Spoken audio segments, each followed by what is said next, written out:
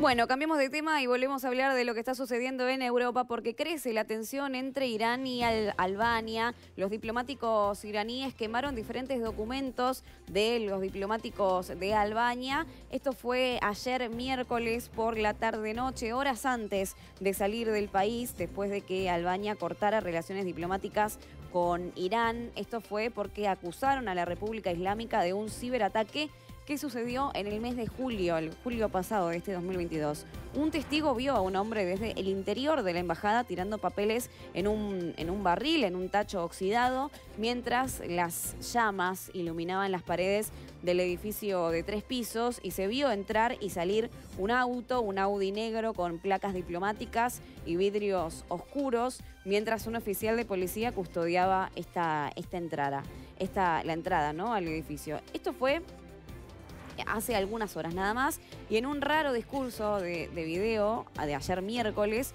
el primer ministro de Albania, Edi Rama, dijo que había ordenado a los diplomáticos y al personal de Irán que cerrara la embajada y que abandonara el país dentro de las próximas 24 horas. Y también lo que dijo respecto a este ciberataque de julio es que amenazó con paralizar los servicios públicos, borrar los sistemas digitales y piratear los registros estatales, también robar las comunicaciones electrónicas de Internet del gobierno y provocar el caos y la inseguridad en el país. Este es, esta es la principal acusación que hacen por parte de Albania. ¿no? Washington, por su parte, el aliado más cercano que tiene el país, también culpó a Irán por el ataque y prometió tomar más medidas para responsabilizar a Irán por acciones que amenazan la seguridad de un aliado de los Estados Unidos.